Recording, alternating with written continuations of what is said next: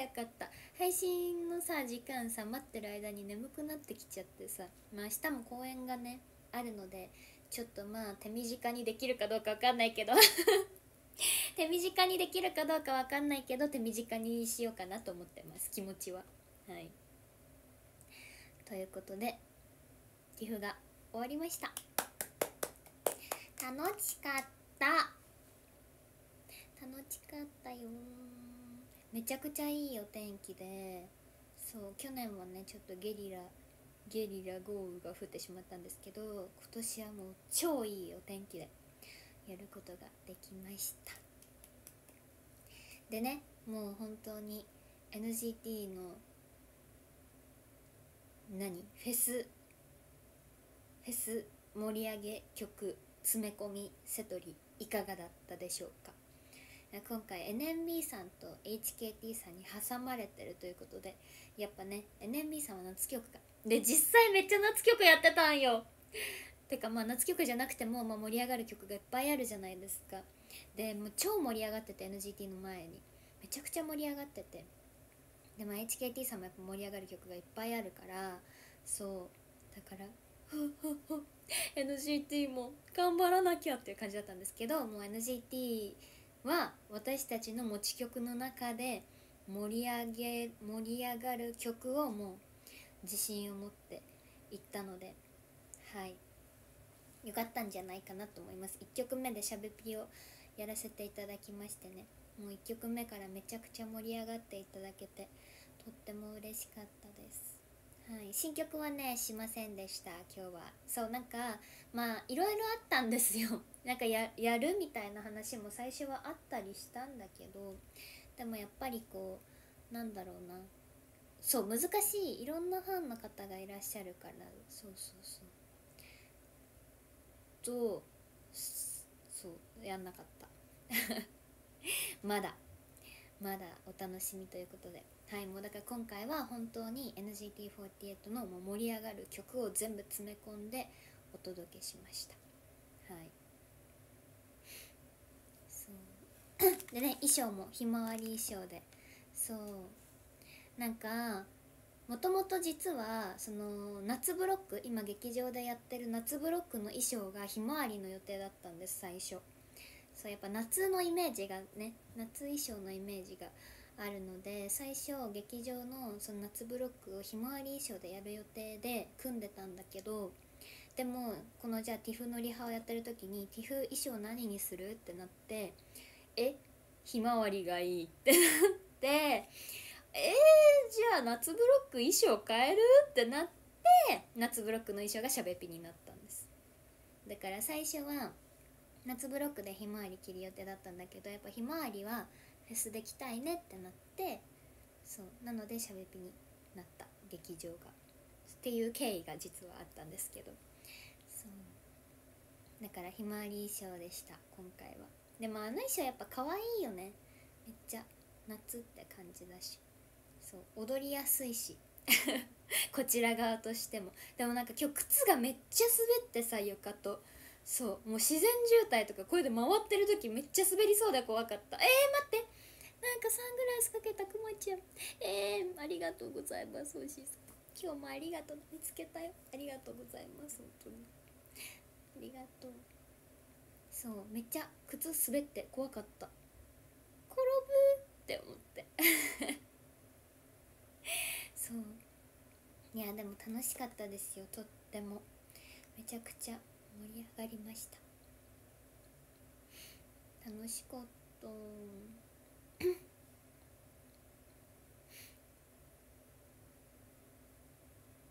プリ取ったよ。取って取ったんだけどまだもらってないな。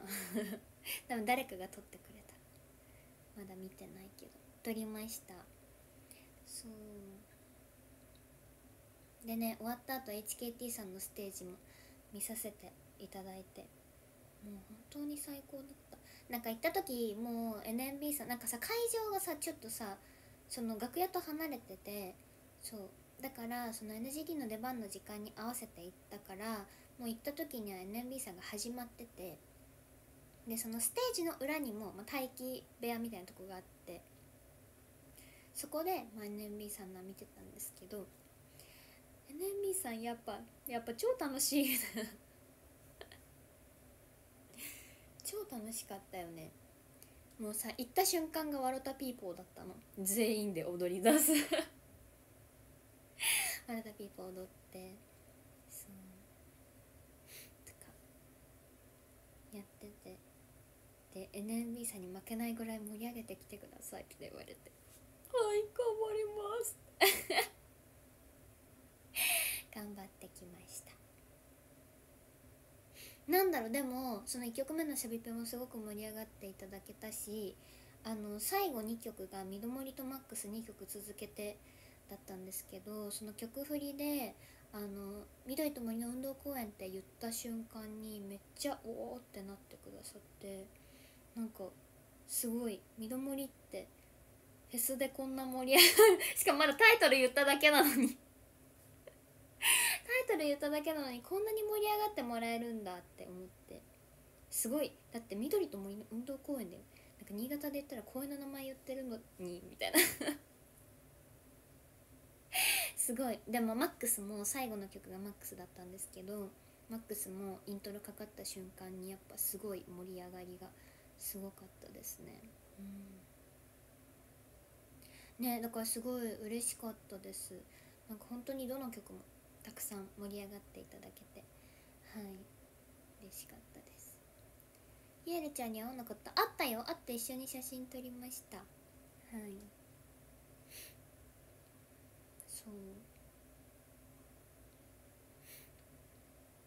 う。もうダメだ。ちょっと頭が回らなくなってきちゃった。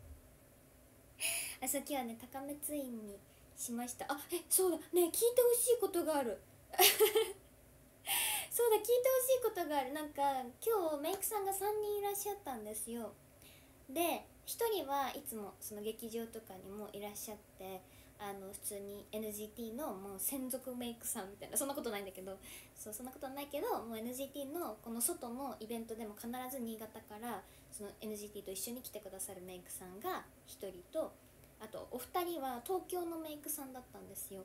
で、まあ、東京でお仕事がある時にお世話になるメイクさんだったりとかあとなんかねこの前東京で1回お仕事があった時にあのヘアメイクしていただいたメイクさんがお一人ともう一人は初めましての方だったんだけどそのもう一人の初めましてのメイクさんが普段なんか坂道グループさんの髪の毛をやってらっしゃるメイクさんだったんですよ。でだからもちろん初めてお会いしたのね。ででなんかそのステージもさ見てくださってたの。ヘアメイクしてくれてで私たちのステージの間もそのなんか関係者エリアみたいなとこから見てくださってたんですけどで終わステージ終わって「お疲れ様って言ってさこう髪の毛さほどいてもらってたのね。髪飾り外してもらって。そしたらさそのね普段坂道グループのメイクさんをやられてるメイクさんになんかさうちがよくやってるグループでさすごい似てるメンバーの子がいるんだよねって私に言ってきてくれてくださって「え誰ですか?」って聞いたらあの日向坂46さんの宮地すみれちゃんにすごい似てるって言われてで私それファンの方に言われたことがあってしかも1人じゃなくてなんか何人かのファンの方まあその私のファンの方私のファンの方私のファンの方の中に、まあ、日向坂46さんも、まあ、好き応援してるファンの方がいらっしゃるんですけどでそういうファンの方何人かいらっしゃってその何人かの方に言われたことがあったんですよ。なんかすごい宮地すみれちゃんに似てるみたいな。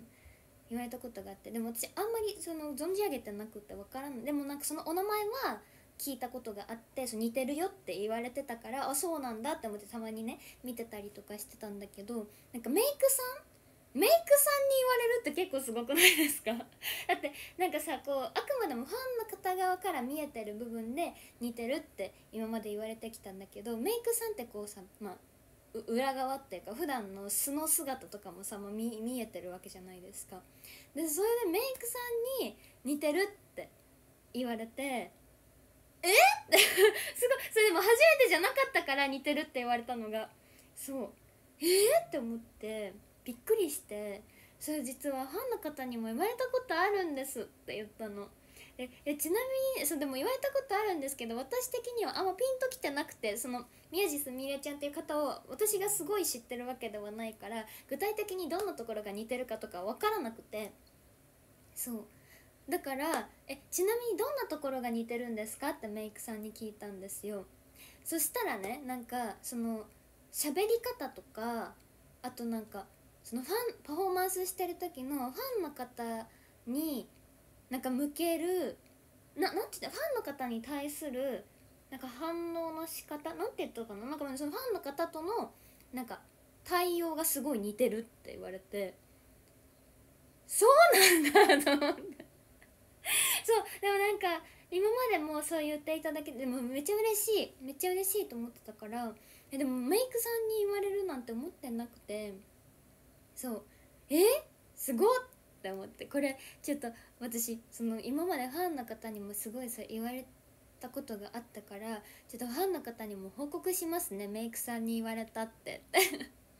って言って言ったらそしたらメイクさんが「え？じゃあ今度私もすみれちゃんに言っておくね」って 言われて。やばい！嬉しい。なんか私が勝手にさこう似てるよって言われて存じ上げてるだけだったのがさメイクさんを通じてさ向こうに伝わってしまうかもしれないっていう。どうしよう向こう私に似てるって言われても全然嬉しくないかもしれないのに。そうでもすごいびっくりしました。あそう仕草が似てるのかな？なんか顔まあ顔も似てるけどって言われました。うん。顔も似てるけど喋り方とかそうパフォーマンスしてる時のファンの方に対する対応がすごい似てるって言われて。えそうなんだ指の差し方。指の差し方。待って待って待って。自分の指の差し方がまず全然わかんないんだけど。私の指の差し方って何？どうやって指さしてた？どうやってレッスンもらってるみんな？そうなんだって。全部似てる？全部って何？全部何？そうでも顔も似てるって言われました。メイクさん。にでもメイクさんに顔も似てるって言われたってことはまあまあ似てるってことじゃない。らしいです。そう。なんだって。顔に手を当ててる時の写真見たけどなんか似てるの分かる。もう本当に？いや嬉しい。お会いしてみたい。いつか。いやえもしかして音楽の日の時いらっしゃったかな？なんか音楽の日の時さ日向坂さんがさ出た何曲か後に48グループだったじゃないですか。だからまあお会いしてたのかもしれないけどなんかそんなさすがに喋ったりとかはさしないしさ別にめっちゃ仲良しなわけじゃないからさ お話ししたわけじゃないんだけどさ。そう。ちょっと今度ねお会いしてみたい。ちゃんと。もしその時会ってたとしても。ちゃんとちょっとお会いしてみたい。本当に似てるのかな？っていうことがあったんです今日。びっくりした。そう。でも私もたまに TikTok で流れてくるのとか見たりする。そう。だから日向坂の推しメンの一人です。もうだからこういう人がタイプなんだね。替え玉してみたらえ私がじゃあ一日日向坂さんに行ってみるとかそういうこと？いやいやいやいやできるかな？あ音楽の日の時はいなかったんだ。そっかじゃあいつかお会いしてみたいな。そうだからついに向こうに認知される時が来るかもしれない。私が勝手に似てるって言われ続けてたものがついに向こうにも伝わるかもしれない。そう。言ってました。ねびっくり。だからそんな普段坂道グループさんをやってらっしゃるメイクさんが今日いらっしゃるなんてびっくりでした。そう、ね、今日はねでもそのメイクさんはなんか3人メイクさんがいらっしゃってあのこうなんか交番みたいなのがあってその割り振られるのよそのメイクさん。このメイクさんにはこの子とこの子とこの子で私は違うメイクさんだったの。今日やってもらったメイクさんその方ではなくて違うメイクさんにやっていただいたんだけど終わった後にその髪の毛ほほどいてもらった時に「えずっと今日思ってたんだよね」って言われてそうなんですよ。びっくりしました。ちょっと唇に色がなさすぎて塗りたいな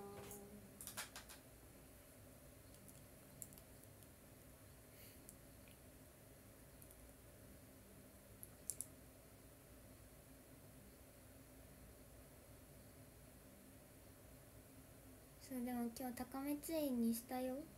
昨日の宣言通り。どうでしたか？もともとさあのひまわりの衣装ってさゆかさんの卒業コンサートの時にさ作っていただいた衣装じゃないですか。あの時から私ハーフツインとかをよくやってたから自分の髪飾りがツイン用の髪飾りなんですよあれ。だからもともと自分の飾りがツイン用だから今日は自分のツインテールの飾りつけました。そう。でね今日はね実はあれ初めての髪型だったんです。私の高めツインはみんなよく見ると思うんですけど今日はねちょっとフェスっぽく三つ編みを2本ぐらい入れてもらいました。ちょっとなんかパリピみたいな。パリピみたいな髪型にさせてもらいました。はいそうツイン誰もいなかった誰ともかぶらなかったです。そう。パリピツインでした今日は。パリピツインにした。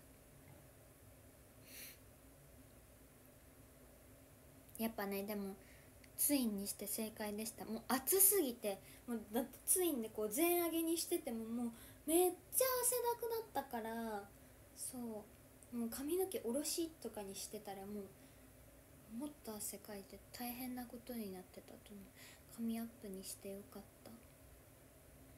ツイン？フェスのツイン？わかる。映えるよね。もうだからさ今後さフェスまあいろいろあるじゃないですか。サマステとかも。ちょっともう髪型ツインになりそう。ツインになりそう。もうどのフェスも。それはそれでいいか。固定ヘアみたいな。ね。それはそれでいい。でもなんか本当にもう毎回ツインでもいいぐらいもう暑すぎて多分フェスとか絶対。だってサマステはさもっと尺が長いじゃん。もう今日だけでもう暑すぎてこれサマステやばいねってみんなで喋ってました。もうサマステでもさ、まあ、そう。サマステの方がもっと尺も長いし絶対に暑いからもうティフのこの尺ですらこんなにしんどくてサマステ絶対やばいみたいな。怖いね。そう。絶対暑いよ。でも今日前髪めっちゃ綺麗だったんですよ。今日これ一回も直してないの。串すら通してない。もうフェスティフティフ終わりそのままの前髪できた。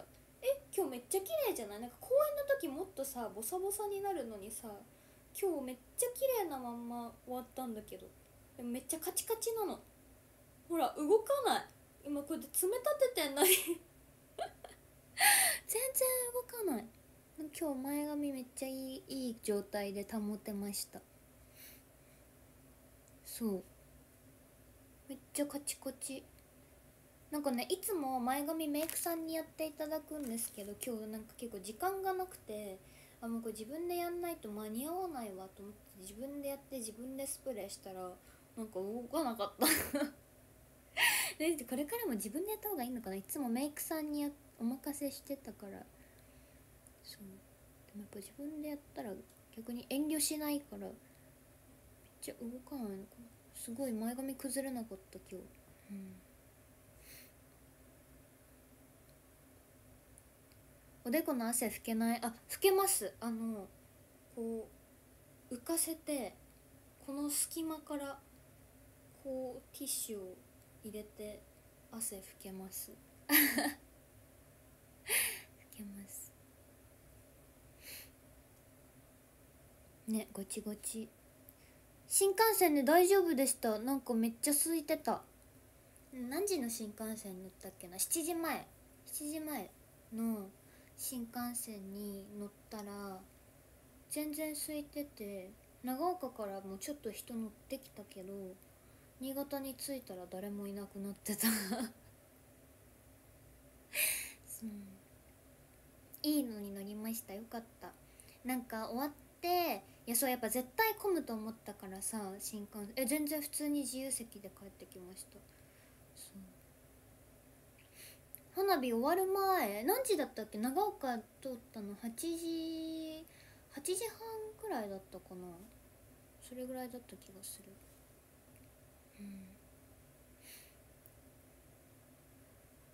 うん。まだ花火終わってなかったのかな？分かんないけど。なんか思ってたよりも全然混んでない新幹線で帰ってこられました。よかった。そう。でなんかやっぱ絶対新幹線混むと思ったから自分たちの出番が終わった後すぐは出なくてちょっと時間潰して潰してっていうかまあその楽屋で HKT さんと写真撮ったりとかなんかいろいろした後に東京駅向かってで東京駅でみんなでラーメン食べてから帰ってきた。昨日もねラーメン食べたんだけど今日もラーメン食べて帰ってきました。そう。他のアイドルさんは HKT さんしか見てないです。はい終わった後。でも HKT さんマジでよかった。えちょっと本当に語らせてほしいんだけど。本当に語らせてほしいんですけど。本当によくて HKT さん。私はもう HKT さんのオタクなので。オタクなので。そう。いや本当によかった。もうさ1曲目から大人列車やばすぎん。本当にもう1曲目から大人列車本当にやばいと思って。でも絶対大人列車来るだろうな来るだろうなって思ってたら1曲目で「はいもうはいありがとうございます」って感じで。そう。めちゃくちゃ良かったです。大人列車12秒やばすぎるね。えてかさ私思うのえなんでなんでさ HKT さんさそのフェスなのにさコンサートみたいななんかこの煽りのさ間こう謎の音楽が流れるやつやっててさええ？みたいな。びっくりした。何の曲が始まるのかと思ったら知らない曲だった。知らない曲ってその煽り用のなんか BGM みたいなので。びっくりした。でもなんか MC なしでほぼぶっ通しでさ何曲も続けてやってんのやっぱすごっ。てかもう体力すごすぎる。めちゃくちゃすごい。本当にすごかった。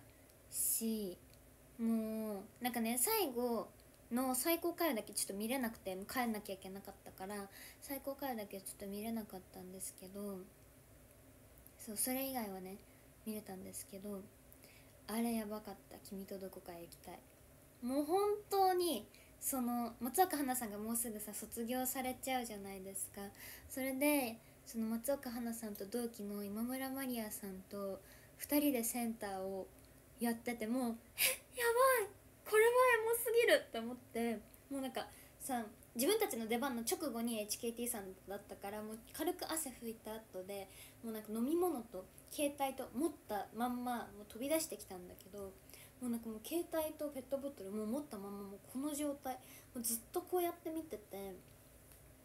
そう。でなんかもうエモすぎて勝手に涙が出てきて。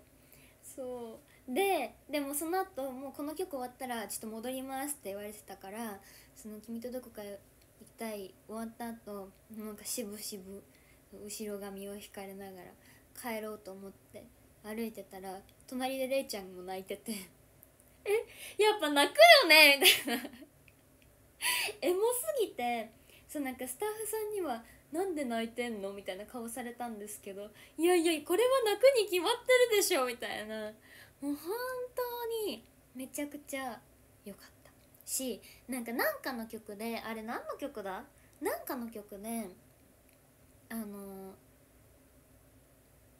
石橋いぶきさんとあの今日の HKT さんの出演メンバーの中に今年加入した7期生さんが2人いたんですよ。でなんかその7期生の2人が石橋いぶきさんをセンターにこの後ろにいたなんかの曲でその図があってなんかそれ見た時にわなんかすごい先輩なんだなみたいな。誰目線みたいな。そういやそうレイちゃんそうなのよ。そりゃ泣くよね。だからレイちゃんはまあその一緒に過ごしてきた時間もあるからそりゃエモいってなるじゃん。私はただただもうファンとしてエモってなって泣いてましたエモって思って泣いてたんですけど。そう。そうなんです。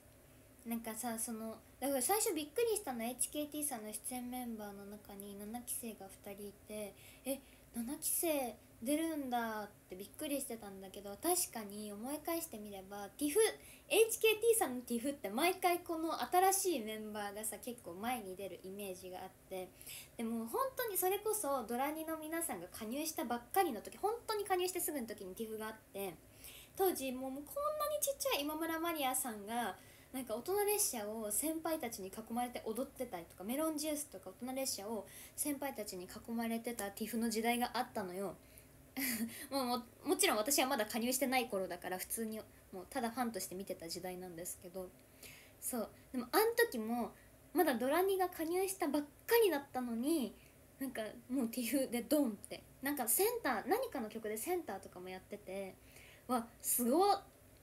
もうそんな出すんだみたいな感じだったんだけどさ。そう。って思うとわなんかそっかみたいな。そう思うとこの7期生が今回なんか出てるのもこのなんか自然な流れというか HKT さんらしいなって思ったしその当時ねあんなにちっちゃかった今村マリアさんがと思って今村マリアさんが本当にめっちゃ可愛くてちょっと遠くから見てたんですけどなんかめっちゃダンスが綺麗すぎてどこにいてもめっちゃ目を引く。なんか気づいたら今村マリアさんめっちゃ見ててダンスがめっちゃうまい本当に。なんか綺麗。めっちゃ綺麗踊りが。そうだから自然と目に入ってきて。そう。だからでもそんなちっちゃい頃に TIFF 出てたんだそういえば。って思ったらなんかすごいエモい気持ちになって。先輩なんですけど。そう。とかだからその7期のその初々しい感じもめっちゃいいなって思ったりとか。そう。本当に HKT さんの TIFF って歴史あって楽しいよなって。歴史あって楽しいよなって思いましたすごい。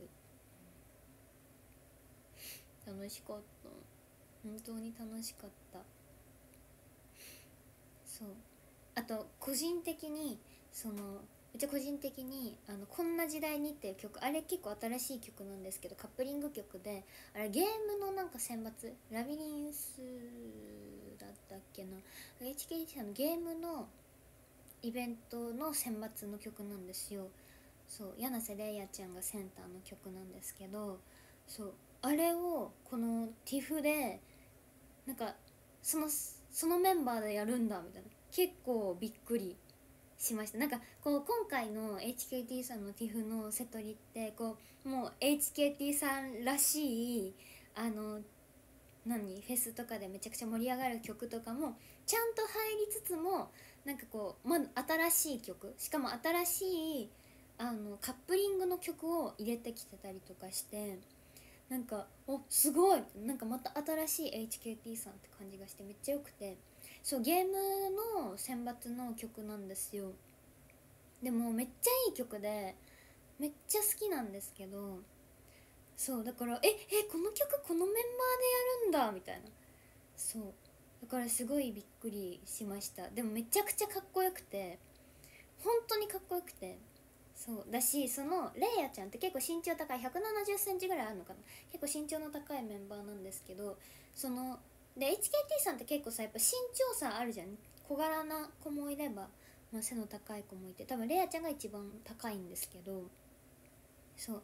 でもなんかそのそれでもなんだろうこの変に目立ちすぎないというかめっちゃなんか綺麗で踊り方が。あと曲によって全然踊り方が違うんですよ。そう。だからそれもめっちゃ素敵って思って。センターにいる時はめちゃくちゃ輝いてるんだけどなんか可愛い曲の時はめっちゃ可愛く踊るしみたいな、すごいと思って。そうだからその曲をなんかこのメンバーでやってんのもなんかすごいかっこいいなって思って。めっちゃいい。なんかさラスサビかな？ラスサビの振りがなんかこうレイヤちゃんセンターで真ん中に踊っててこうぐるぐる回ってる振り付けがあるんですよ。振り付けだったの。なんかちゃん MV とか見てたんだけど振りは初めて見てそう。振りをさラッサビなんかぐるぐる回っててそう。でえー、すごいなんなんかかっこいいこの振りみたいな。すごーってなっててそうすごかった。えそれでさ 隣にいたレイちゃんがさ「この曲って何の曲?」って私に聞いてきて。私が「あこれゲーム選抜の曲で」なんか隣で解説してた。解説者になってました私。本当に HKT さんが好きすぎて本当に好きすぎてそうもう嬉しい。見れて絶対に見たかったから嬉しかったですそうであとなんかその HKT さん春にツアー？やってたんですけどそのツアーもなんか1個だけ配信わざわざ買って見てて。NGT の内容に HK だから NGT の話全然してない今日。なんか眠くなっちゃったとか言って話すのやめちゃった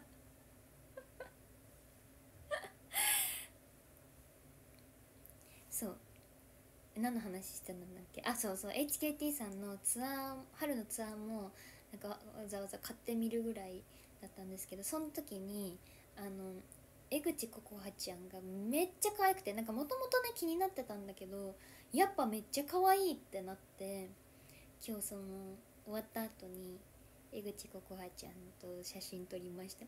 しかも並んだらなんかめっちゃちっちゃくて可愛くて本当に可愛い。顔が可愛い。顔が可愛すぎるんですよ。でもパフォーマンスもめっちゃ好きで。そう。めっちゃ可愛いんです。はい。で「なんて呼んだらいいですか?」って言われたから「みみゆで」って言ったら「みみゆさん」って言ってくれて可愛い。だから「なんて呼んだらいいですか?」って聞いたら「ココちゃんで」って「ココちゃんって呼ぶ」って。ココちゃんって呼ぶことにしました。お友達って言って帰ってきた。勝手に友達になってきました。本当に可愛い。そうでも7期生はまだ全然わかんないのでそう。もうね6期生は結構ちゃんと知ってる。ちゃんと推しを作るぐらいちゃんと知ってるんですけどそう。7期生はまだ全然わかんないのでちょっとこれからいっぱい知りたい7期。と思って。思いました。だってうちの4期よりも若い子たち若いっていうか入ったばっかりの子たち。だからそう。だからそれでティフ出るのもすごい。いやうちの磯も頑張りましたよ。人生初アイドルフェスだよ。人生初アイドルフェスティフいいね。てか私もそうだったわ。私も人生初アイドルフェスがティフだったんだけど。そう。いやでも初フェスで本当にもう完璧に踊ってくれてさすがうちの磯でした。頑張りました。頑張りました。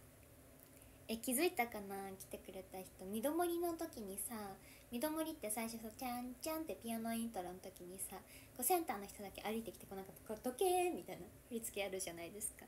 でその間あの周りの人たちってこうなんか止まってるんですけどその時ちょうど正面私の真正面に磯がいて磯と向き合ってて「頑張れ!」って言ってた。磯に「頑張れ!」って「あと2曲だよ」やってました。7期生5月デビュー。いやそうだよね。そう思うと本当にすごい。それでティフ出るの。でもめっちゃ頑張ってた頑張ってたそう4期生よりも後輩なのかすごいね。それで先輩たちに混ざって。いやでも本当に磯もね1人4期の中で1人そう頑張ってるから。でさ帰りさラーメンも一緒に行ったの。そう昨日はラーメン私とななみと帰りと一緒に行って今日は私と また今日も帰りと私とななみもいてプラス、えっと、スイスイとゆうはと磯ななと一緒に行ったんですけどでそのさ新潟駅じゃない嘘嘘嘘東京駅東京駅のラーメン屋さんラーメンストリートあるじゃないですか。あそこに行ったんだけどそこに向かってる時にちょうどさ公演が発表されたじゃん。あの次のそのお盆とかの。8月のさ公演予定が発表されたじゃないですか。それで私16さ出て16磯も出るんですけど磯の初日さ出れなかったからさ音楽の日で。だからやっと16日一緒に出られますねみたいな話をしてたしてたの。ラーメン屋さんに向かう時に。磯と2人で。で「えそうなの?」私も嬉しすぎてやっと磯と一緒に公園出れるから嬉しすぎて「えそうなの?」みたいな。言ったらなんか思ったより東京駅に響いちゃってその声が。そしたらさちょびっと前を歩いてたさそのななみとかさスイスイとか夕飯がめっちゃびっくりして なんかそうなんかびっくりしてて「え何にびっくりしたの?」って思ったら私の声にびっくりして 思ったよりでかい「えそうなの?」って言っちゃったみたいでそう えそれに対してあの磯はゲラだからめっちゃ笑われました めちゃくちゃ笑われました、うん、嬉しい。だから16やっと一緒に出られます。そう。今回公演発表されたのが10日と12と16の公演が発表されて10日私あのマルドリアップさんに久しぶりに出演させていただくんですね。そう。なので16がちょっと公演あ間違う。嘘嘘16で。1010 10日。10日がちょっと出ないんですけどそう丸刈りの方に出るので10日の公演はいないんですけど 12?12 原ちゃんが初日でそうそうそう。原ちゃんの初日と16磯と一緒に出ます。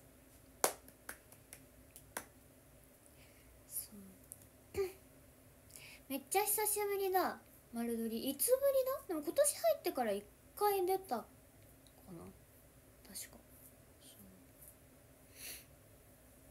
そう。なんです。なのでお盆の3連休は12だけ？出ます。11公演ないんだよね。12の公演だけ？出ます。はい。利休組みんな初日迎えた。いあそうそうそうそう。だからもともとその公演のリハだったからさ公演のリハに私がロックブロックのリハ参加してなくてでちょうど4期がその思い出いっぱいのリハしてるからでそこにじゃあロックブロックのリハ入れようってなって私が参戦したので。そう。だから4期のその思い出いっぱいのリハでえ？思い出いっぱいに出る子たちのリハに行ったからその帰りで利休に一緒に行きました。そう。だからもともと練習してた子たち思い出いっぱいデビューに向けてしてた子たちの中に私が勝手にリハを入れてもらっちゃってたから。そのメンバーです。そう。嬉しい。原ちゃんの初日にもなので一緒に出られるので楽しみです。そう。ね続々と4期が公演に出てくれて嬉しいです。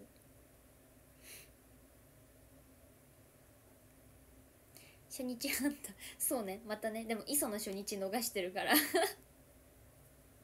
そうでもなんか一緒に出られるの嬉しいねっていう話をねしてました。楽しみ。ぜひ公演も。そうえそうなの？だからさえきききき気づきましたか？すごいことが起きてるんですけど16公演17サマステ18オフライン。やばいやばすぎる。頑張らなきゃいけない。3連休が待ってる。3連休じゃないんだけど。連休じゃないんだけど16 金土日じゃん。そうなんですよ。わかる。その前の週のさ3連休はさ12しか公演出ないのにさ その終わった週のさ161718盛りだくさんすぎてやばい。全部参戦してくれる人とかいるのかな？いや確かに金曜日公演めっちゃ珍しいわ。めっちゃ珍しいけどさ絶対楽しいよね。明日のサマステも待ってるね。みたいになったらめっちゃ珍しい。楽しい。楽しい3日間だね。3日間全部来てくれる人いるかな？明日初めて夏ブロック見れる。あ嬉しい。ありがとうございます。ああれやんなきゃ。てってってててててって。ちょ思い出さなきゃ。ナミサプ。明日生誕だから。そうでした。そう。新潟六本木長岡やばすぎ。行ってすぐ帰ってこなきゃいけないじゃん。すごい。すごい夏になりそうだぜ。バタバタ。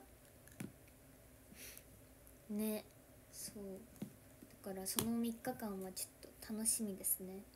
盛りだくさん。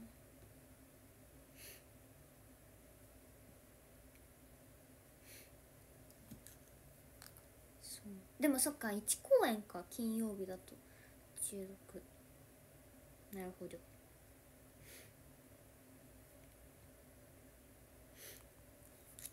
みんなで大移動。確かに。そうだね。明日はどのポジションの波サポ？ああ待ってそうじゃん。私波サポポジション違うわ。え？そうだね。ありがとう思い出させてくれて。めっちゃ忘れてました。そうでした。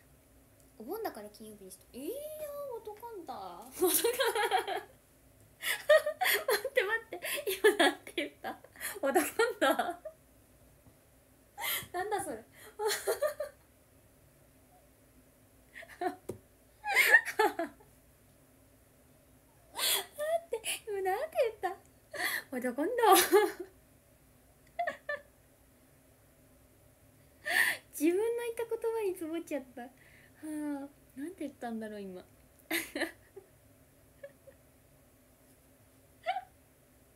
びっくりしちゃった。えー、そうもう疲れちゃったかな。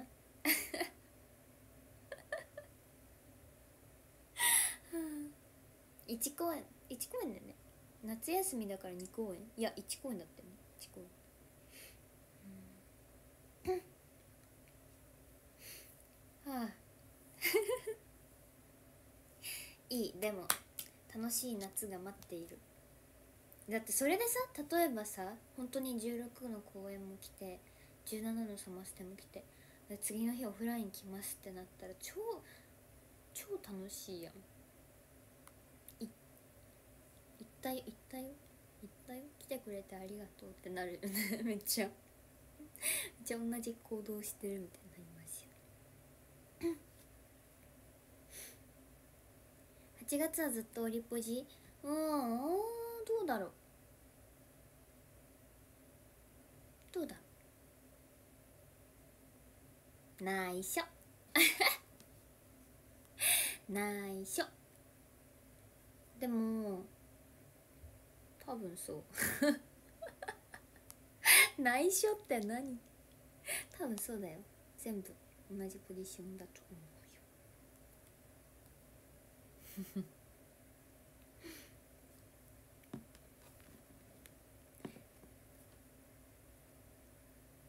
でもいいね。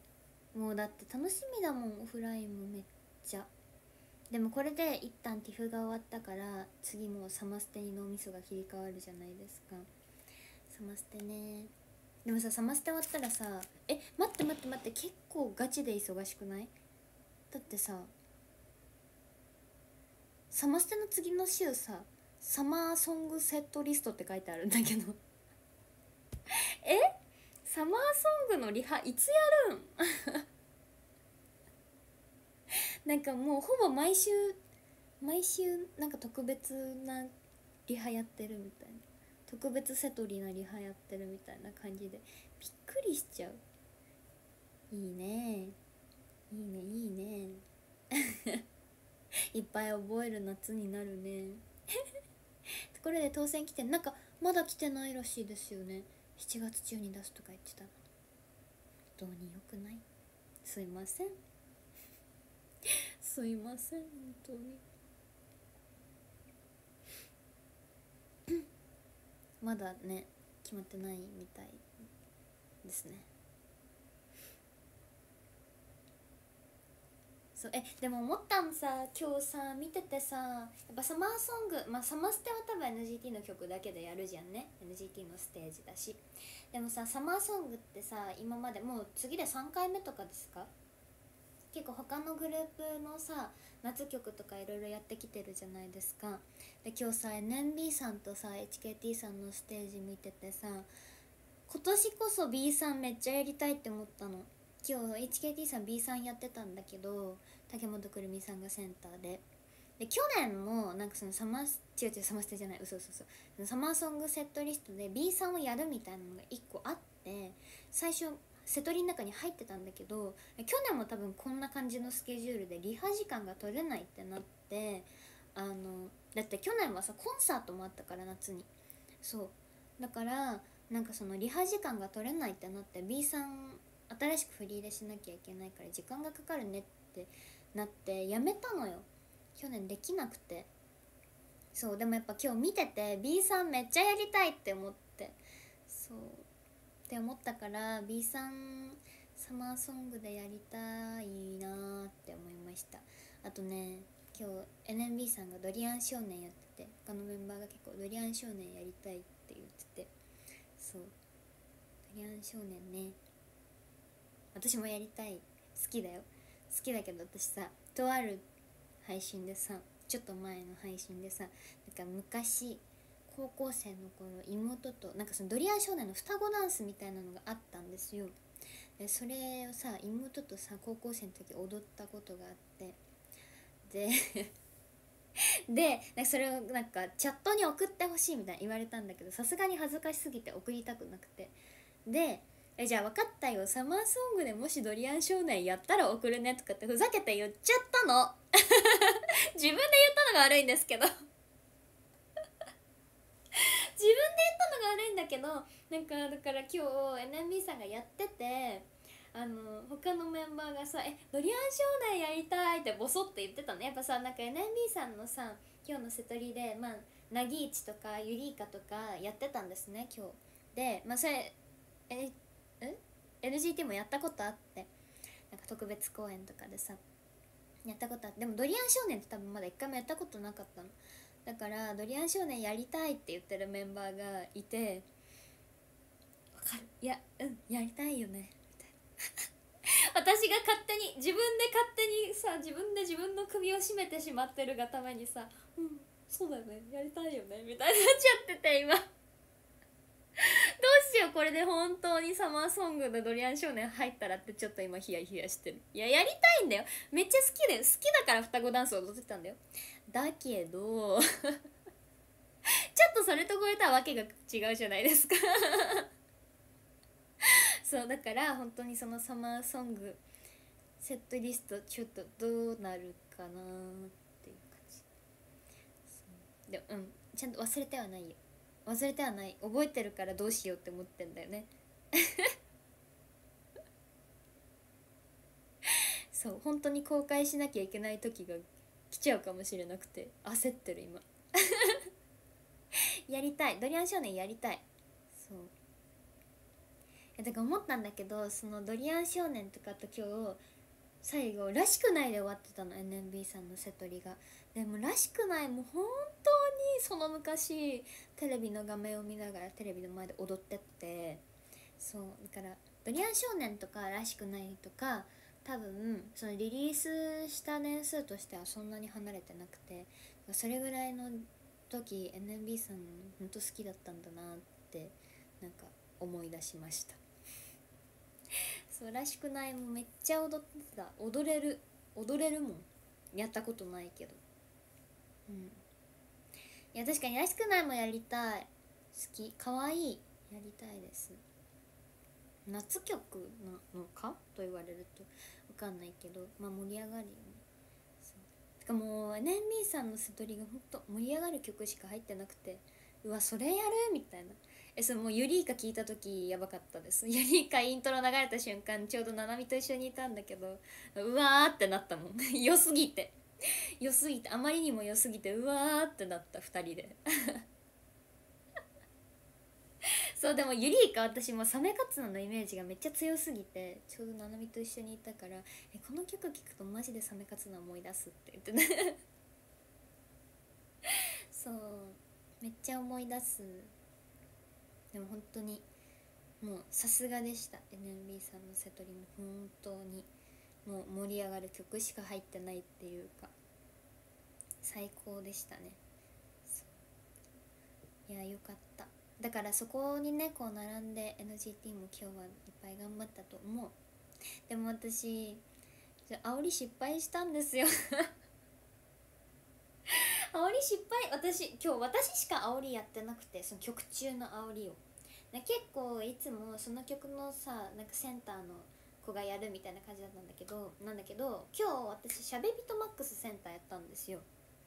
でしゃべピ1曲目だったの。でじゃあ1曲目だし煽ろっかってなって、まあ、しゃべピ1曲目で煽ったんですね。そう。でなんかマックス最後の曲だったんだけどミノモリとマックス続けて2曲続けてだったの。で2曲続けてマックスが最後だからなんかあれ？まあそうなんか終わっちゃったみたいな。最後の曲終わっちゃったみたいになっちゃうからマックス最後の曲だよって煽った方がいいねってなってマックス煽ったんですよ。えそしたらですねなんかなんて言ったんだっけなこれで NGT48 のステージ最後の曲になりますみたいな。言ったつもりだったんだけど なんか噛んじゃって。そうマックスの時に。マックスのイントロの煽り噛んで。何を言ってるんだみたいな。なっちゃったんですね。そう。でなんかダンスの先生が今日のこの TIFF の動画もずっと撮ってくださっててでそれ頂いてさ後から見返したわけ。見返してよ自覚はあったんですよ。あマックスの煽り失敗したなって。自覚はあって。でそのダンスの先生にあの撮っていただいた動画見返したら本当に何言ってたか自分でも分かんなかった。煽りちゃんと失敗してて。すいませんって思いました。はい。何言ってるか分かんなくて本当にすいません。聞こえるかな？この動画イントロの煽り流せるかな？マックスだよね。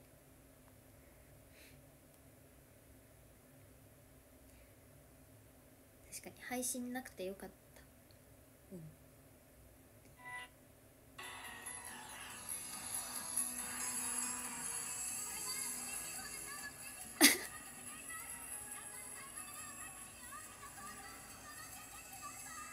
か最後だけめっちゃいい感じに喋ったみたいになってますけどなんかな何言ってるかかなこれが？これが？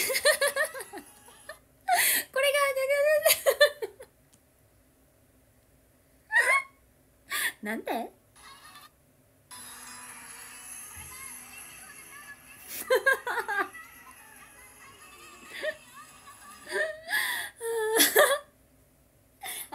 はい見事に噛みました。ちゃんと噛みました。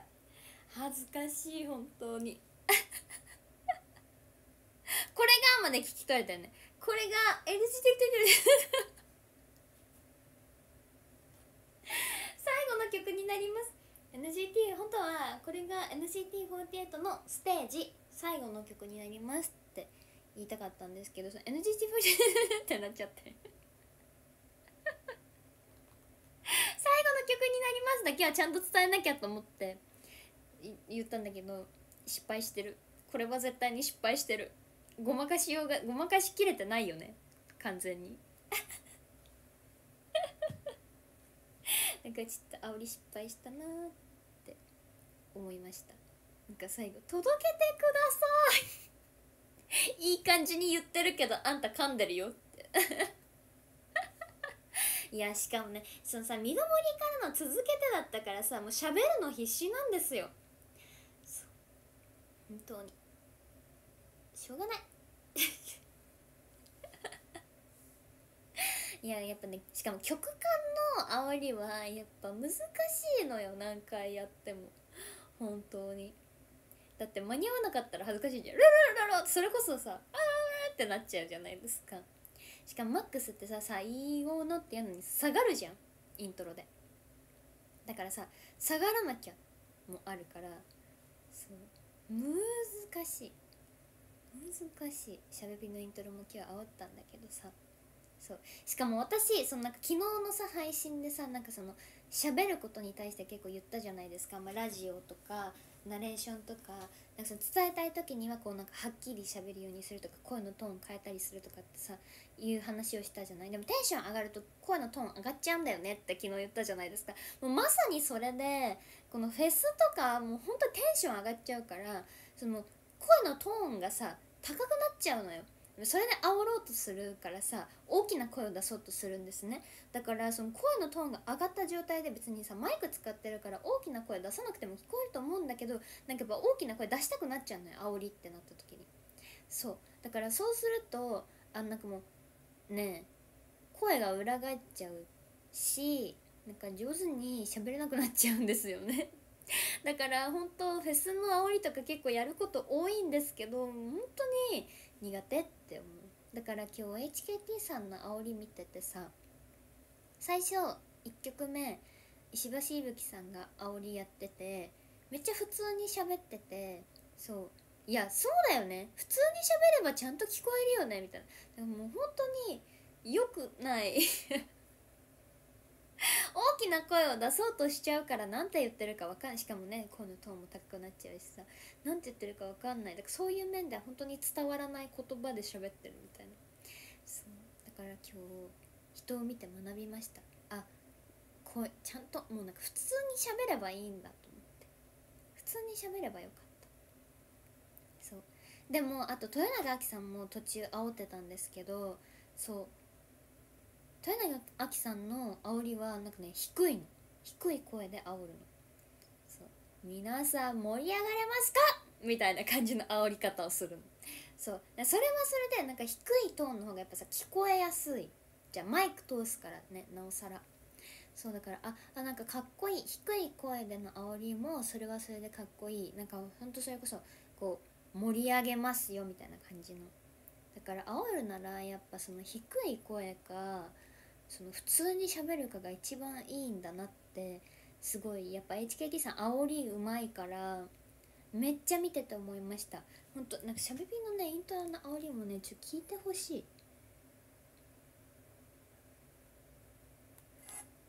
うん。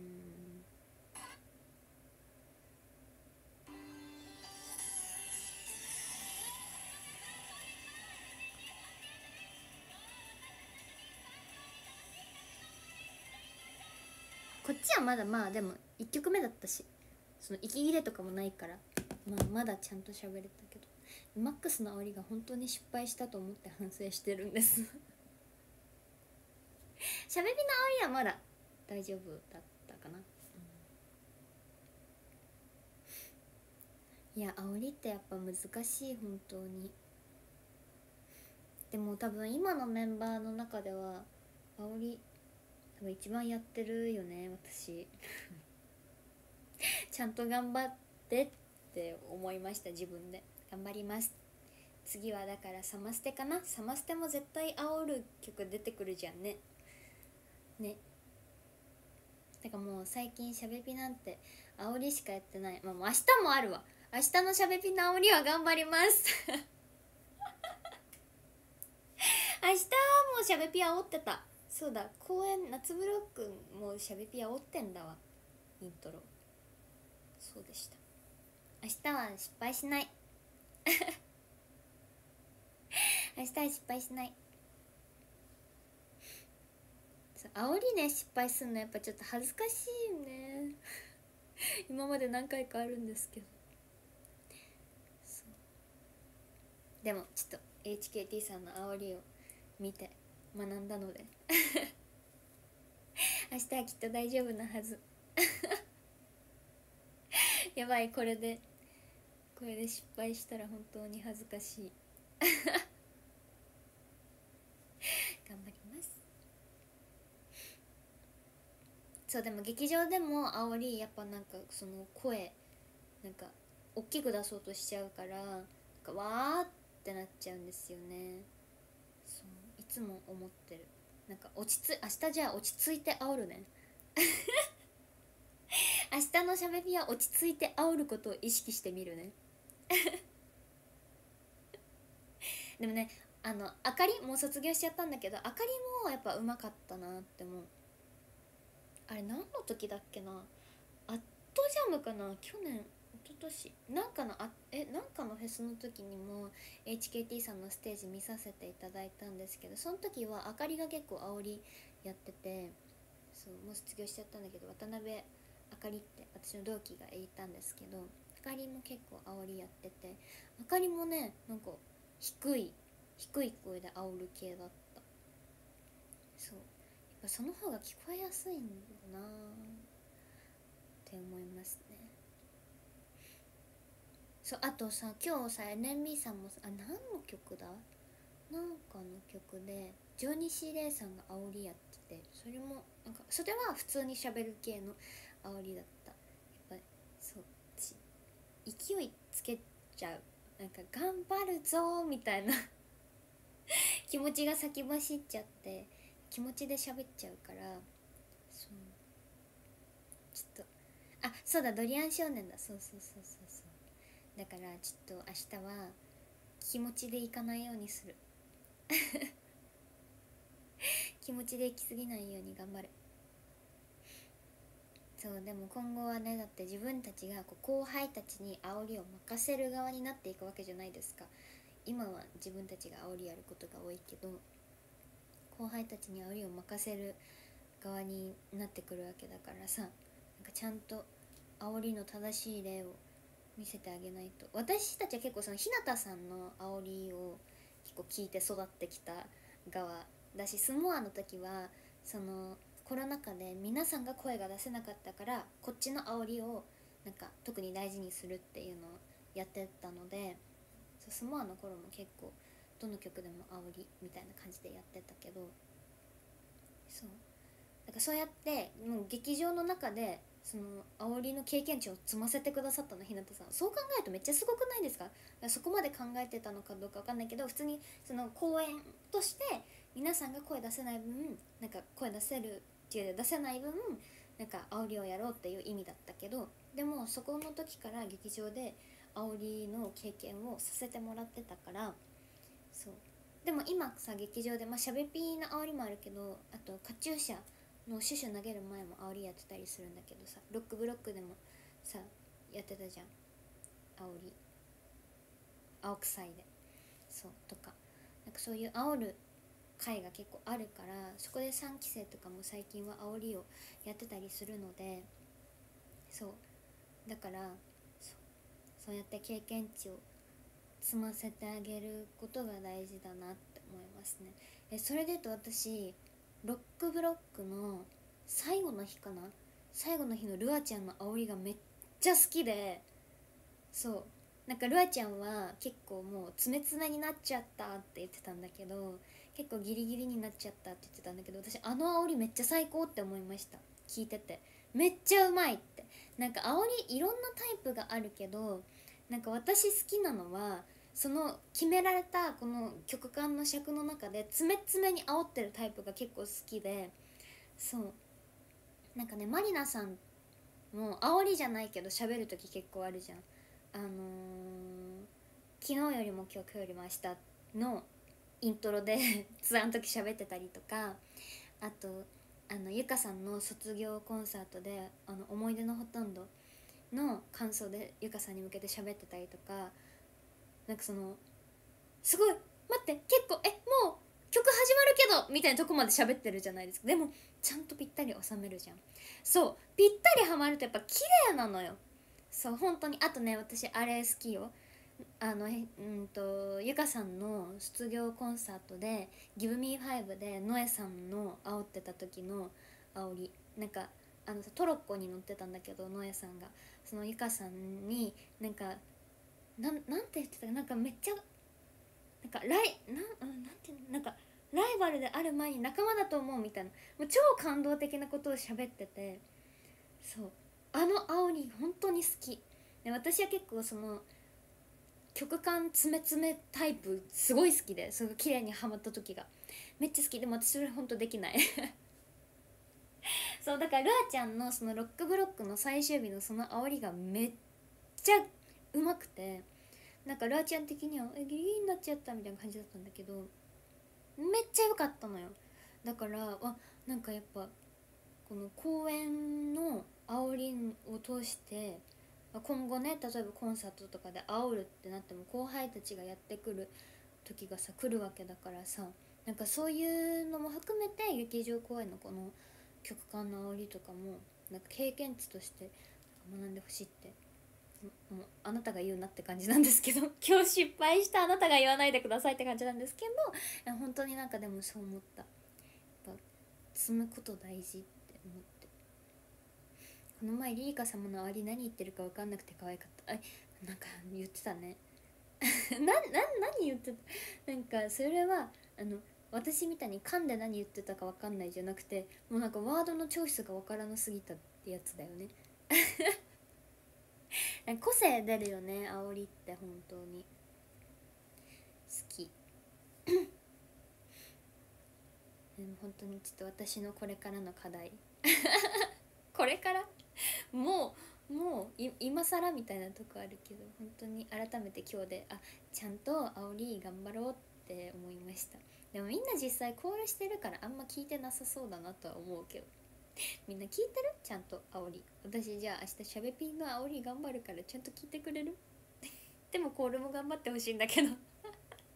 みんなってコールコールしながらちゃんと煽り聞けてんの？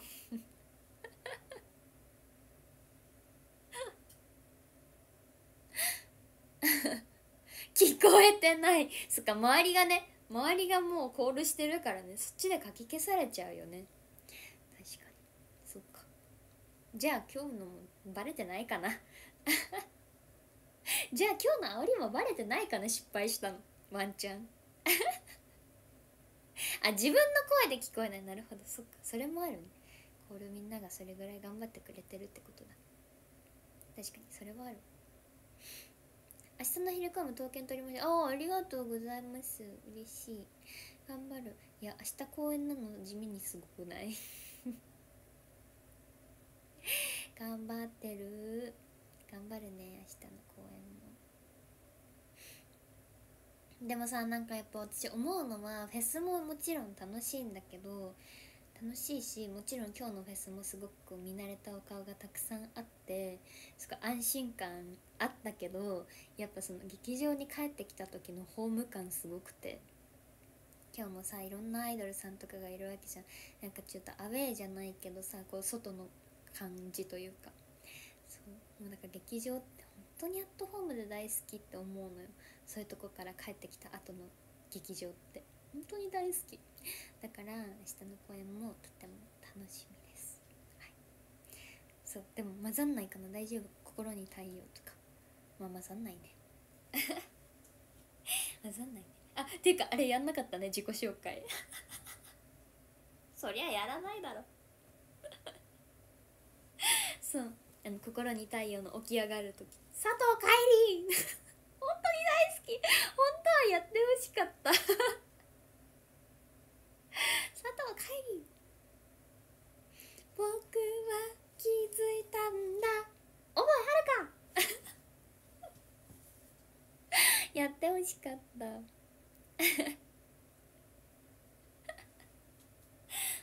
れ大好き。そうあこれねな何？って言うとその TIFF で結構今日もさ、ま、曲いっぱい詰め詰めだったじゃないですか。でなんかそんだから MC の時間を削って曲をやろうみたいな話になった時にじゃあもう曲中に自己紹介したらいいんじゃないかってふざけた案があったのね。でその話で結構ちょっと盛り上がっちゃって 本当になんかマネージャーさんも混じってふざけてそういう話をしててなんかだからこの「心に太陽」のラスサビのこの起き上がる瞬間とかあのあの別のセリフの瞬間とかあの自然渋滞のこう交差した時の真ん中に来た時にそれぞれが自己紹介していくとかそういうふざけた話をしてたんです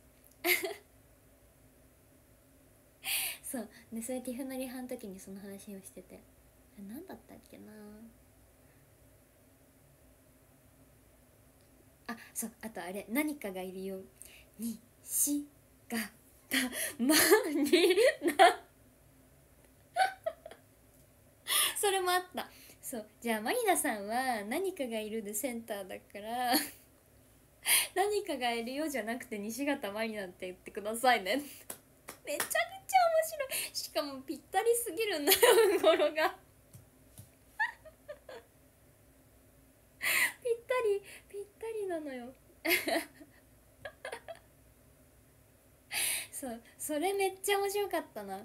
そうよかった思い出して笑わなくて。ちゃんとティフの時はティフに集中しててよかった。そう思い出し思い出し笑いするところだった。危なすぎ。何かがいる。心に対応自然渋滞緑マックスそうで。あとだからマックスも感想でさ「ターンタタタン」ってあるじゃない？これで一人ずつ前向く時に自己紹介。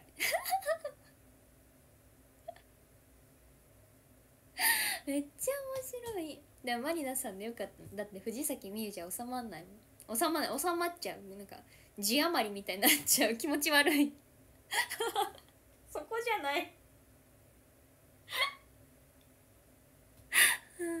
面白すぎる。でもちょっと見てみたいよね本当に。そういう話をティフのリハの時にふざけてしてたの。でもあの時間まあ今日も結局曲詰め詰めでやったけどでもやりませんでした。MC も本当に今日だから結構サクサクサクサクやりましたね。スムーズに。でも新曲のあの宣伝もちゃんとしてきました。ね今日ちょっとやらなかったんだけど一瞬の花火。でもどこかでね披露できたらいいなって思うので、うん、劇場でやるならありありじゃないでしょ。怒られるよ。どこでやっても怒られるよさすがに。劇場でやってありなわけがない。うん、すごいそれは面白かった。そうしんねあ今回その11人新曲の選抜の11人であの出演させていただいているのでそうやるかなって思ったかもしれないけどちょっとねあの今回はやりませんでした。でもそのなんか、もちろんその新曲の選抜の11人で出ることに対して新曲をやるかもしれないっていうのも1個あるかもしんないけど私はなんか今日は特にこの11人で出たことに結構意味があるなと思っててっていうのは去年の TIFF はまだリカさんもいたし日向さんは去年の TIFF は出てないんだけどまあその所属はしてたじゃないですか NGT に。そう。でもそのリカさんと日向さんがいない夏。ぱフェスっていろんなその NGT 昔の NGT しか知りませんとかなんか昔 NGT ちょっと見てたけど今の NGT は全然知らないよとかそうっていう方が多分多いと思うんですよ。ってなった時にやっぱ1期生の存在ってめちゃくちゃ大きくてでもそのリカさんも日向さんもいない夏ってなった時にそのやっぱりもうそういう時代って絶対にいつかは来てしまうわけでだからその年その年で今の NGT48 を見てもらうことが必要なわけじゃない。もちろん今でも1期生の皆さん今回は3人ちゃんと全員いらっしゃったからもうやっぱその存在ってめちゃくちゃ大きいと思うんだけどでもそれっていつまでもその1期生の顔に頼ってもういられないじゃんグループとして。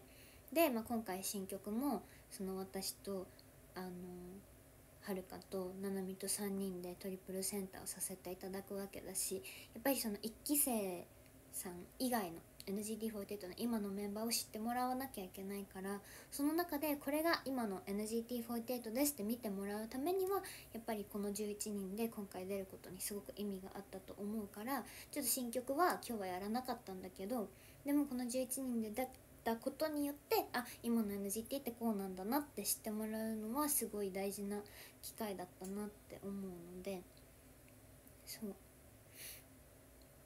だからまあもちろん新曲もねやりたいところなんですけどプロモーションとしてはリリース日近いし。そう。でもちょっとまだやらないということで。はい。ねだからいつ初披露できるかめっちゃ楽しみです。でももう振りは入ってるから。そう。振りは入ってんのよ。振りは入ってるからいつでもできんだけどいつでもできない。まだそお見せできるレベルではないのでもっと頑張んなきゃいけないんだけど。そう。ねだから披露できるいつ初披露になるか。楽しみですね。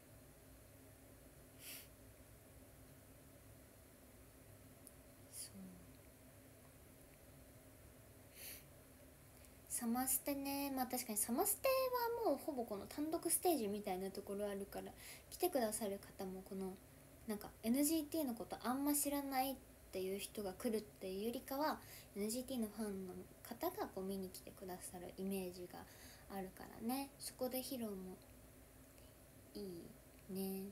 去年サマステであの別やらなかった。あそうだっけ？そうだっけ？なんでだ？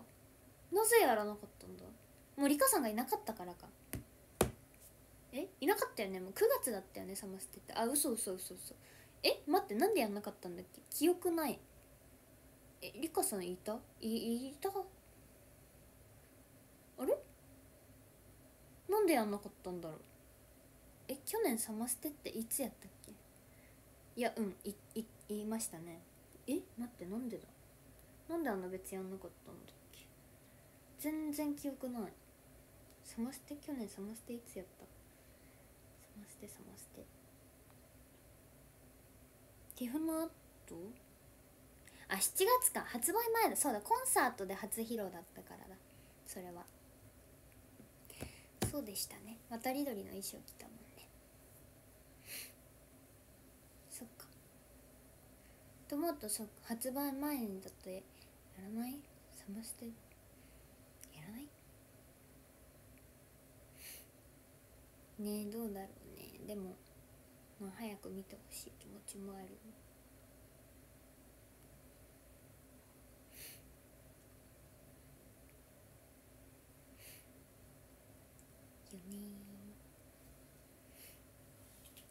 そう去年初めてサマステに行って NGT 見て感動したのを覚えてもあ嬉しい。今年も感動させられるように頑張ります。過去瀬戸りまだ何も知らない。去年サマステ7月26あそっか。すごい。コンサートの結構ギリギリ前にやったんですね。もうあんまりちゃんと記憶がなくって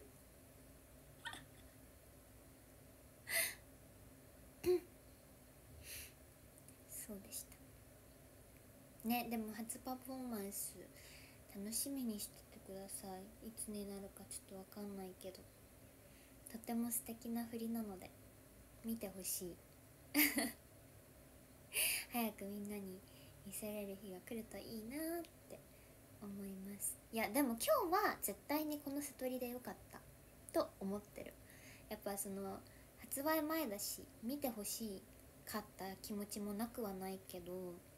そうせっかく逆に NGT のファンの方以外のさ他のアイドルファンの方もいらっしゃる場所だからその新曲を聴いてもらうっていうのはなんかそれはそれでよかったなって聞いてもらいたかったなっていう気持ちもあるんだけどなんか一瞬の花火そのフェスで盛り上がる系の曲かって言われるとなんか割と落ち着いた曲だしでそれが例えば流れた時に NGT のファンの方ですらまだ一回も聴いてないてか一回初披露になっちゃうからさその誰も盛り上げ方を知らない曲みたいになっちゃうじゃないですか。これがもし、まあ、NGT のファンの方は、まあ、ある程度もう聞いたことがある上でなんか披露とかだったらその初めてその日初めて聞く方もなんか一緒になんとなくさか盛り上がれるとかあるかもしんないけどそう。難しい。だから今日は披露してももちろんメリットもあっただろうしと思うけどでも今日はこれはこれで正解だった絶対に。だってちゃんともう盛り上がる曲しか入ってなかったから今日のセトリは。これはこれですごいティフ向けのセトリだったからそう。これでよかったかなって思うので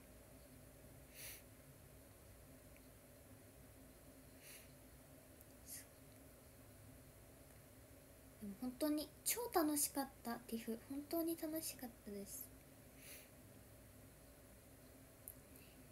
よかった。照られて。でもさ去年のさティフのさ写真さ見返したらさここにキラキラつけててさあそうだ去年は顔にキラキラつけてたと。今年は誰もつけてなかった。誰もつけてなかったけどめっちゃラメめっちゃラメした。めっちゃ光ってる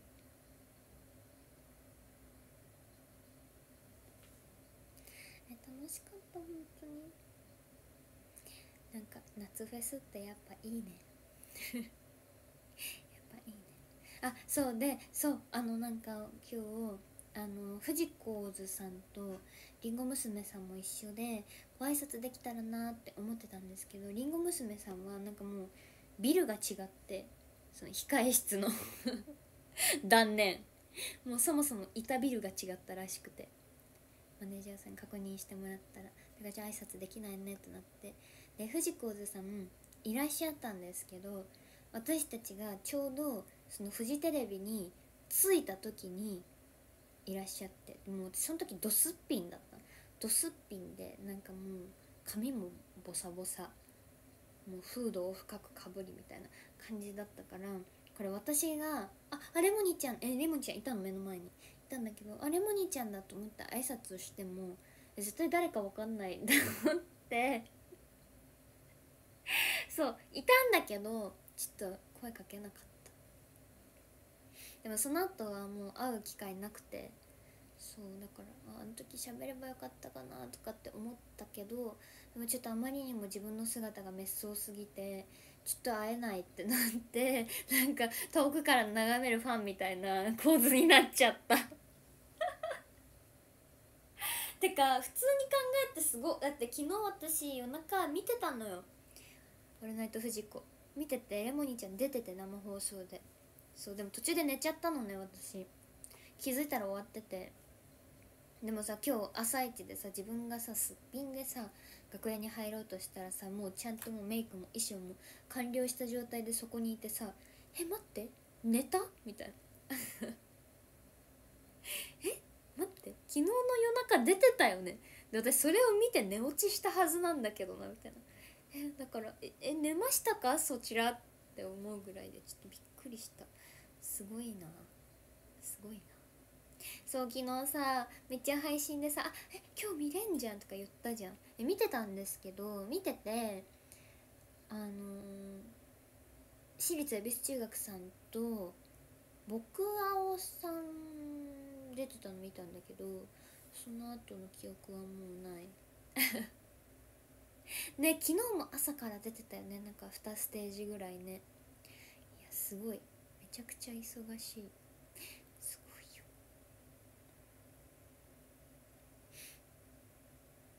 ねそうなんだから結局見れなかった。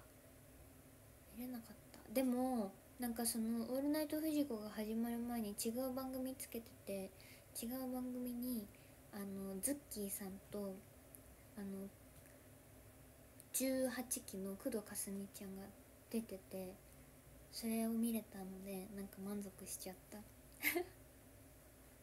なんかねキッチンカーのやつ。あれ？たまたまつけたら出てて。出てるなんかだからそう思うとはすごい東京のテレビってテレビつけたら AKB 出てんだって思ってすごっていいなって思いました。そうカレーのやつ。そうそうそう。昨日たまたまお風呂から上がったらそれやってて。いいな。テレビつけたら AKB 出てんのかって思って羨ましくなりました。そう。えっていうかめっちゃ話変わっちゃうんですけど。そう今日帰り道その AKB さんのその17期18期19期のそのツアーのさ大阪公演のやつさ配信してて。なんか私 AKB さんの LINE さ公式 LINE さ入れてるんだけど。公式 LINE でさなんか無料配信って来てえ見れんの？って思って。その時ラーメン食べてたんだけど。メンバーとメンバーとラーメン食べてたんだけど。そう。つけて。でもさすがにメンバーといる時はさ見見見なかったけど。新幹線乗ってから見ました。えうんなんかさ結局ちゃんと見れたのはユニットからだったんだけどそう。めっちゃ良かった。めっちゃ良かった。この前もこの前のやつも無料配信してた。えその時は気づかなかったな。今回今回しか気づかなかった。ユニットから見たんですけどもう 私一人で新幹線乗っててさ新幹線の中で見ながらずっと一人でこの反応してた。良すぎて。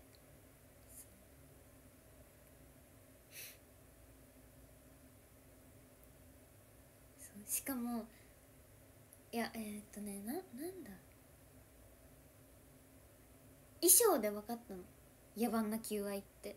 なんかあのねいやこれ演出家さんだなーってすごい思ったのがさあのー次の曲の人たちが先に出てくるとかそのこの曲の最後の人たちが残ったまんま次の曲の人たちが出てきて頭だけ踊ってからはけるみたいな。なんかこれね NGT で言うとあの3期のパーティーがそれであの私たちの頃のパーティーは1曲終わったらはけて次の人たちがわーって入ってきてっていうタイプだったじゃない？でも3期のパーティーってさこうなんかあの途中途中から出てくるみたいなタイプのやつじゃないですか？ユニット。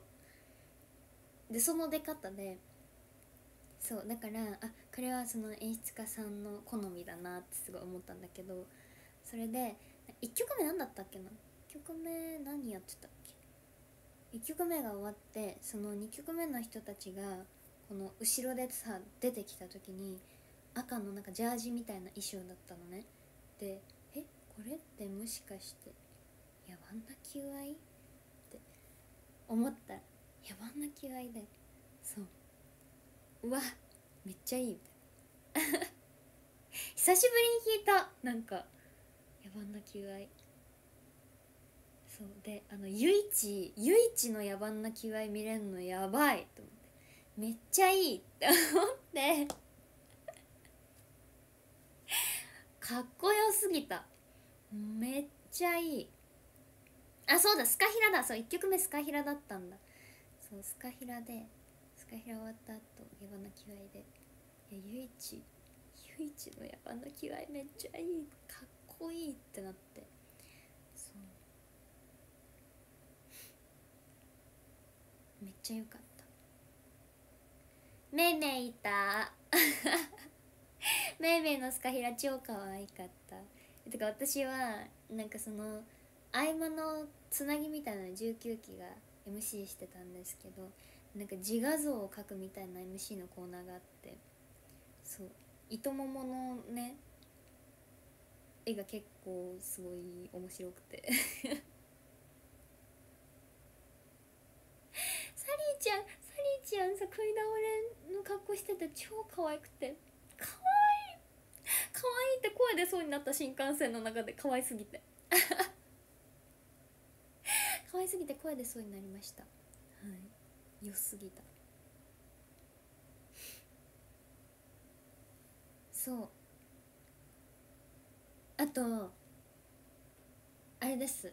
だらしない愛し方をやってて。で「わ待ょうど去年のこれぐらいの時期にやった」そうリカさんのさ卒業コンサートでやったのよ。だらしない。愛し方でなんかすごい懐かしいってなってあれもう1年前なんだと思ってすごく衝撃を受けた。それを見てて。でなんか今日本当にたまたま「わ待ってこの振り付けなんだっけ?」って思った振り付けがあってなんかななんかこういう振り付けがあってさなんかこの振り付けえこれ何の曲だっけなみたいなふと思い出したこの振り付けが何の曲だってずっとモヤモヤしてたんだけどそのだらしない愛し方が流れた瞬間にうわこれだってなってだらしない愛し方のイントロの「デーデーデーデーデー」ってなる時にそしゃがむんだけどこれやりながらしゃがむっていう振り付けだったっていうその腕だみたいな思い出しました。そう卒業公演でもやった。なんか卒業コンサートの時にやった時になんか演出で振りが結構潰れちゃってそうであの曲ってダンス結構激しくてかっこいいじゃないですか。でもそれが演出で潰れちゃったからせっかく練習したのにねってなって卒業公演でもやったんだよね。でももう覚えてなかった。なんかうわ待って1年前にやった曲懐かしいって思ったけどもう踊れませんでした。踊れません。で新幹線の中で踊っちゃった。新幹線の中で手で踊っちゃった？なんか隣がさ新幹線さその座った時にさ隣がさなんか高校生ぐらいの男の子集団でさ新幹線のこの椅子をさこう向かい合わせにして座っててそう。だから絶対変な人だと思われてるだろうなって思いながら新幹線の中で踊ってた。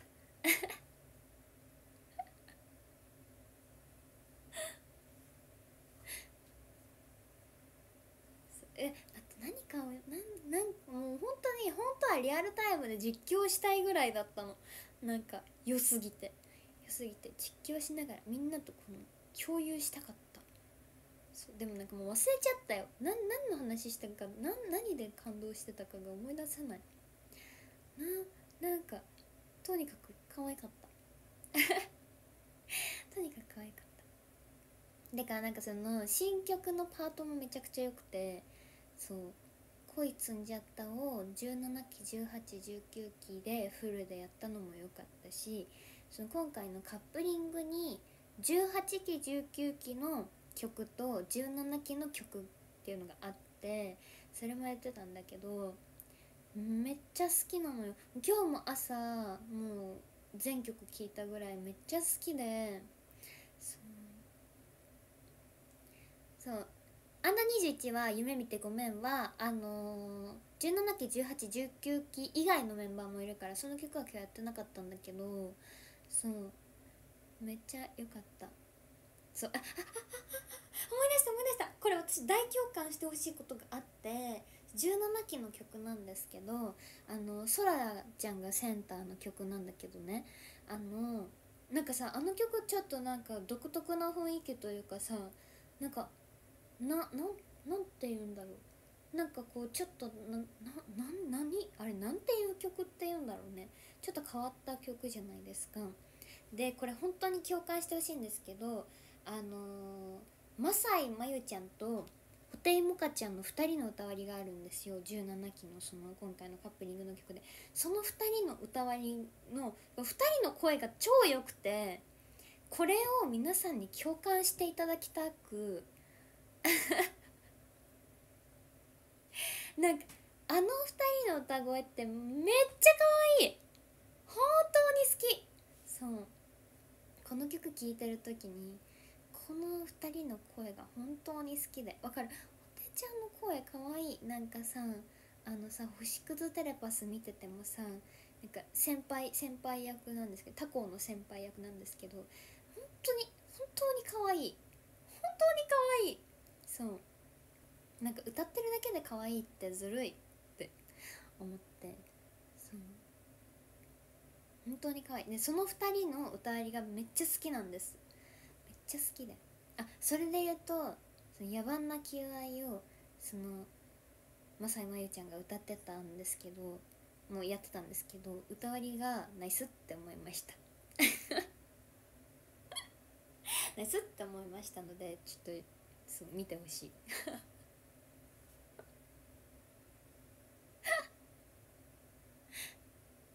そう。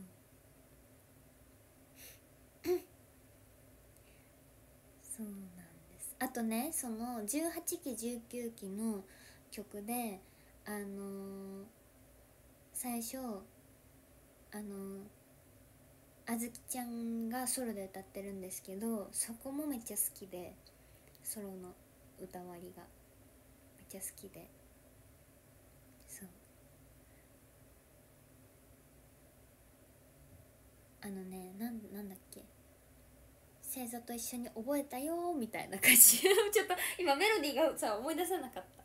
思い出さなかったからちょっと歌えなかったんだけど。そこもめっちゃ好きで。そう。もうずっと興奮しながら見てたんですがあの新幹線ってトンネルがいっぱいあるじゃないですか。トンネルにはまってる間に終わってて。そうだからみんながいつもこの新幹線の中で配信とか見てくれてる時ってこんな感じなんだなって思いながら見見てました。気づいたら終わってた。アンコール待ってたのにさトンネルだらけでさ全然見れなくて終わっちゃった。でも「君虹」やってたアンコール。それは見れた「君虹」そう「君虹」もねコンサートでやったからさ春。日向さんの卒業コンサートで。踊れると思って踊ってた新幹線の中で。踊れると思ってやってました。そう。ああとなんかそう夏曲メドレーがあったのさ。リップグロスから始まって。えリップグロスリップグロス大好きでえリップグロスやるの？って思ったら急にサビに入ってきてああメドレーかってなったんだけどそう。で「エブリデイカチューシャ」が入っててああ明日やるんだったって思って明日の立ち位置をそれで思い出すって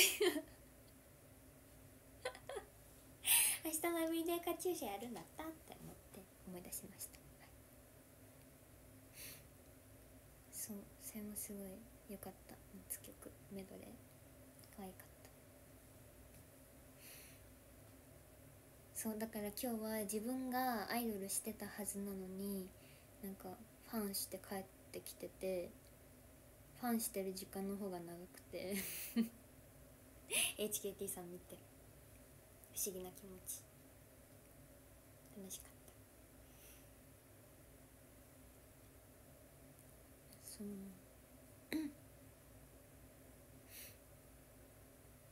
わかる。リップグロス大好き本当に。昨日のバズリズムでもエビカツやってたよああずきちゃんセンターだった。なんかなんか流れてきた。み寝てたので 見てないんだけど。寝てたので見てないんだけど。そう。でもさ明日さティフ出るじゃん。何人か。今日大阪でさコンサートしてた子たち。愛梨ちゃんとか。スケジュール？やば。すご。えだって今日大阪にいるんだよね？みたいな。えてかさあれすごい。あずきちゃんのさ仙台のさコンサートのさ次の日さ夢の国行ってたら公園に呼ばれた話めっちゃすごくないですか？あれ本当にすごすぎる。かタフ普通に。プライベートがタフすぎてびっくりした。明日の夜公演出る子もいます？いや待ってすごい。スケジュール。大阪から。待ってそんなこと言ったら私たちもと前日東京にいて次の日新潟で公演ですから。まあまあまあ。そんなこと言ったら私たちも頑張ってるね。頑張ってる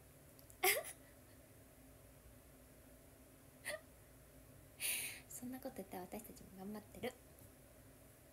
明日は新潟で公演です。そうだよ。明日公演だから短く終わろうとか言ったのに全然やってて長。全然やってて長。ちょっとそろそろ終わりにしようかね。半になったらじゃあ終わりにしよう。明日も公演なんだよ。そうだ。じゃあ最後に今日私が東京駅で買ったアイカツのグッズを紹介して終わります。そうそういうメンバーとそのラーメン食べようってその新幹線乗る前にラーメン食べようって言ってそのラーメンストリートに向かってたの。地下降りて。でそのアイカツのお店やってんの知っててアイカツのお店行けたらいいなって思っててでもメンバーとラーメン行くってなったからまあまあまあそれはメンバーとの時間優先しようって思って降りたら階段降りて降りたすぐそこにアイカツのお店があって「えアイカツ!」ってなって「ごめん先行ってていいよ」って言ってみんなを先に行かせて私は一人アイカツのそのポップアップで物を買ってたの。わあ待ってこれも欲しいこれも欲しいって思ってねこれ持ってたら持ってたらちょうどマネージャーさんとメイクさんとダンスの先生が降りてきて階段から。私が一人でめっちゃアイカツのグッズを見ながらニヤニヤしてる瞬間をマネージャーさんとダンスの先生とメイクさんに見られて。あれ？みゆみゆ一人？なんかおたかつしてるって。言われて。そう。でその後私買った後にそのメンバーの先にラーメンストリートに行ってるメンバーのところに合流しようと思ったらそのさっき会ったマネージャーさんとダンスの先生とメイクさんがラーメンストリートの入り口にいて私がすごいもうニコニコしながらさ買ったものを袋を持ってったらさ「あ無事に買えたのね」って言われて。めっちゃ恥ずかしかった。完全に選んだる瞬間まで見られて恥ずかしかったんですけど。紹介します。ででででクリアファイルかわいい。全員集合かわいいかわいすぎるそう東京駅のラーメンストリートに行きました。でわざわざ私がこのアイカツのお店に行ってる間にみんなが先にラーメン屋さんに行ってくれてでどこどこのラーメン屋さんにいますって優はがわざわざ LINE くれてありがとう今から行くって言ったらごゆっくりって 送ってくれたかわいい優しいじゃん見ていちごちゃんとあかりちゃんのなんだこれ。スタンド。アクスタ。アクスタ。かわい。い私の推しはあかりちゃんなんですけど。いちごちゃんとあかりちゃんの2人はエモって思って買いました。わかる？めっちゃ可愛い。あとなんかこれはすごい多分東京駅だって思って買いました。葵ちゃん。